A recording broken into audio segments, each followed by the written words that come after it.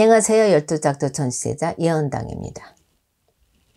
오늘은 2021년 시춘년의 69년생 닭띠 운세 중에서 69년생 분들 중에 최근 몇 년 동안 일이 잘 안 풀렸던 분들이나 지금까지 힘들게 살아오신 분들 또는 좋지 않았던 일들이 많았던 분들에게 왜 그러한 일들이 발생했는지 어떻게 하면 이러한 문제들을 헤쳐나갈 수 있는지 또는 좋지 않은 일들이 앞으로 생기지 않게 하려면 어떻게 해야 되는지에 대해서 말씀을 드려보겠습니다. 오늘 말씀드리는 내용은 개인의 전체적인 사주나 한 분한 한 분의 개인의 상황을 신점으로 풀이하는 게 아니라 태어난 연과 월만으로 풀이를 하는 것이기 때문에 해당되시는 부분이 중복이 되거나 변동이 될 수 있다는 점도 참고해서 들으시면 될 것 같습니다. 오늘 말씀드린 내용은 총 6가지로 나누어서 말씀을 드릴 거고요. 해당되시는 분들은 태어나 음력 월 기준으로 집어서 말씀을 드려보겠습니다. 끝으로 오늘 말씀드리는 부분은 보이지 않고 믿을 수 없는 일이라고 생각하셔서 대수롭지 생각을 하시거나 나는 해당되지 않는 것이라고 생각을 하시는 분들도 계실 수 있지만 우리 인생은 한 번뿐이기 때문에 오늘 말씀드리는 부분을 한낱 미신으로 치부해 버리시는 우를 범하지 않으셨으면 합니다. 그럼 2021년 시춘년 69년생 닭띠 운세 중에서 2021년에는 반드시 풀고 가야 하는 6가지 일들에 대해서 말씀을 드리겠습니다. 첫 번째는 상무부정을 푸셔야 모든 일들이 제자리를 찾을 수 있는 분들입니다. 해당 되시는 분들은 2월생, 8월생, 12월생 여러분들입니다.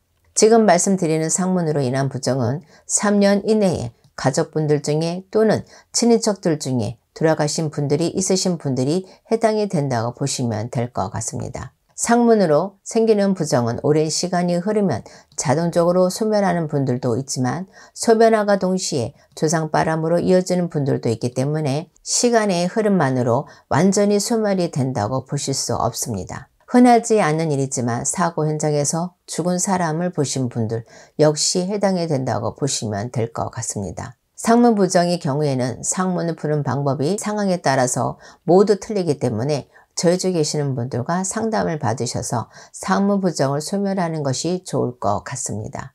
두 번째는 자살한 조상의 원혼을 잘 풀어야 하시는 분들입니다. 해당되시는 분들은 1월생, 7월생, 10월생 여러분들입니다. 자살한 조상이라고 하면 그 조상님들이 부모님이나 형제 자매가 될 수도 있지만 멀게는 얼굴 한번 본 적 없는 친인척이 될 수도 있고요. 또는 조부나 증조부 때에 이를 수도 있기 때문에 해당되시는 분들은 자살한 조상이 없다고 생각하실 수도 있습니다. 예전부터 집안에 우환이 끊이지 않거나 망한 집안을 보면 억울하게 돌아가신 조상님들의 원혼을 풀어드리지 못한 경우가 많다는 것을 저희 중에 계신 제자분들은 너무나도 잘 알고 있는 부분입니다.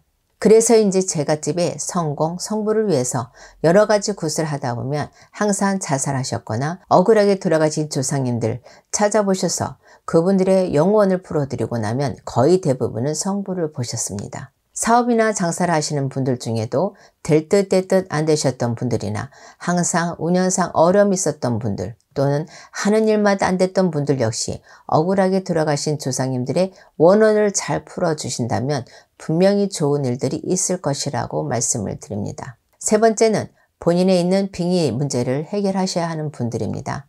해당되시는 분들은 3월생, 9월생 여러분들입니다.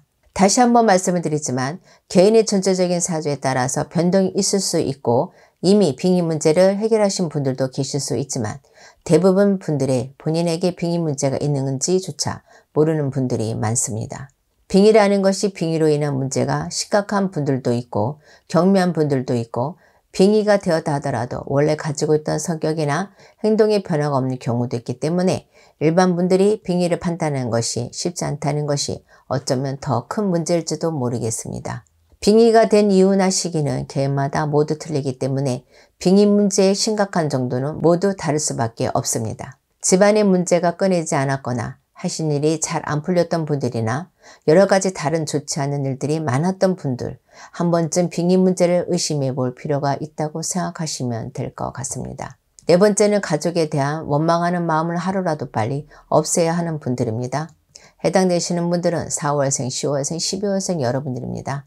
원망하는 마음은 그 대상이 부모님이나 자식 또는 형제자매가 될 수도 있지만 특히나 돌아가신 분들을 원망하는 분들이라면 더더욱 그 원망하는 마음을 하루라도 빨리 없애셔야 합니다.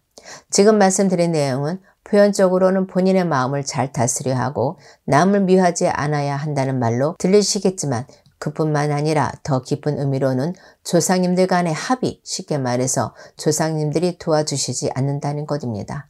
거의 모든 종교가 그렇듯이 종교마다 중요한 부분이 있습니다. 우리의 전통신앙 역시 그 중요한 부분에 조상님들이 계시다는 것을 잊으시면 안 될 것 같습니다. 한 가지 더 덧붙이자면 가족을 원망하는 마음을 오랫동안 가슴속에 가지고 계셨던 분들은 병의 문제까지 있는 분들도 있기 때문에 오랜 기간 동안 가족을 원망하셨던 분들은 저희 쪽에 계시는 선생님들과 상담을 받아보시는 것도 좋을 것 같습니다. 다섯 번째는 종교적인 믿음을 더 가지셔야 하는 분들입니다. 해당되시는 분들은 5월생, 1월생, 7월생 여러분들입니다. 물론 타 종교에 대해서는 굳이 언급하지 않겠습니다. 지금 말씀드리는 부분은 저희 쪽의 신앙을 가지고 계신 분들에게 해당이 되는 내용이라고 생각하시면 될 것 같습니다. 사실 한국 사람인데도 불구하고 한국의 뿌리인 조상님들의 중요성을 모르고 계시거나 저희 같은 제자분들이 모시는 어르신의 말씀을 진심으로 믿지 않으시는 분들이 많은 것 같습니다.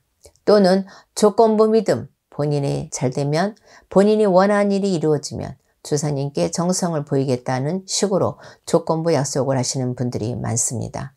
어찌 보면 당연한 사람의 심리일지도 모르겠지만 신과 거래를 하시는 것은 바람직하지 않을 뿐더러 그러한 마음 역시 믿음이 부족하다는 반증입니다. 종교라는 것이 원래 얼마나 간절하게 믿고 따르는지에 따라서 보이지 않으시니 그 믿음에 보답을 해주시는 건데 믿음이 부족하신 분들은 이러한 사실을 믿지 못하시는 것 같습니다. 지금 말씀드린 부분에 해당되시는 분들은 2021년에는 조금 더 믿음을 가지셔야 성부를 보실 수 있을 것이라고 말씀을 드립니다. 여섯 번째는 본인의 뿌리를 정확하게 알아야 하는 분들입니다. 해당되시는 분들은 8월생, 10월생, 11월생 여러분들입니다. 본인의 뿌리를 정확하게 알아야 성공을 하실 수 있는 분들이라고 생각하시면 될 것 같습니다. 지금 말씀드리는 본인의 뿌리라는 것은 가문의 성향이라고 압축해서 말씀을 드릴 수 있는데요. 예를 들어서 본인의 가문의 성향이 문관 쪽이 강하다면 학자나 가르치는 직업을 하셔야 하고 무관 쪽으로 강하다면 스포츠나 힘을 쓰는 직업을 하셔야 성공을 하는데 큰 무리가 없다고 생각하시면 될 것 같습니다. 물론 개인의 전체적인 사주에 따라서 또는 시기에 따라서 가문의 특성과 정반대로 가는 것이 좋을 수도 있는 분들이 있을 수 있겠지만 이러한 분들은 그만큼 본인의 노력이 더 중요하고 남들보다 더 많은 노력을 해야 한다는 점도 있습니다. 한 가지 더 말씀을 드리자면 지금 말씀드리는 분들은 단순하게 조상의 뿌리, 가문의 특성만을 아시는 것에서 그치지 마시고 조상전에 항상 정성을 들이는 것이 또한 중요하다는 점을 말씀을 드립니다.